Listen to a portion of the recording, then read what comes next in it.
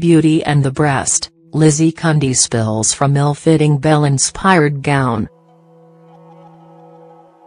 The former WAG is on the guest list at just about every London showbiz event going.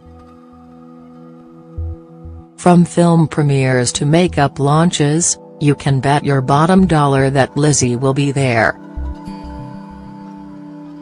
And that means a massive wardrobe to boot.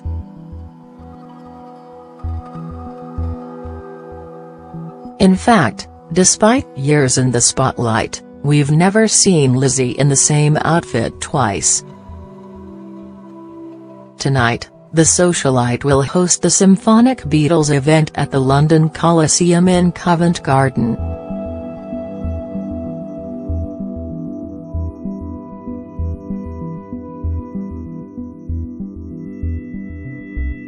Cranking up the glamour as much as possible, the starlet opted for a typically boob-tastic outfit.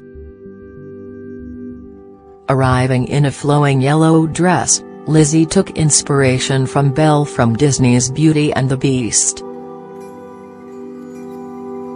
Ditching her bra to be honest we're not sure she even owns one the brunette beauty put on a buxom display as she posed for waiting cameras. Arriving at the venue in plenty of time, Lizzie turned the Coliseum's grand staircase into a photo studio, posing from just about every angle.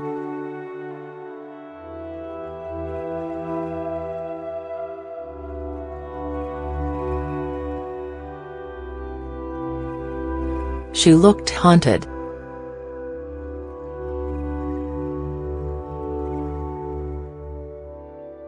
She totally freaked out. Lizzie Cundy Lizzie recently revealed how a ghost tried to suffocate her friend. Recalling how she found her on the sofa, the star said, she looked haunted. She totally freaked out.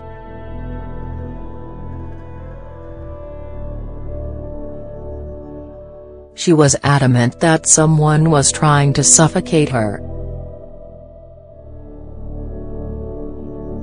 She said she felt like someone actually had a pillow on top of her face. She said there was someone in the room trying to kill her. Lizzie went on to reveal that a medium told her that the reason for the terrifying incident was that a ghost in her house had become jealous of her friend staying over.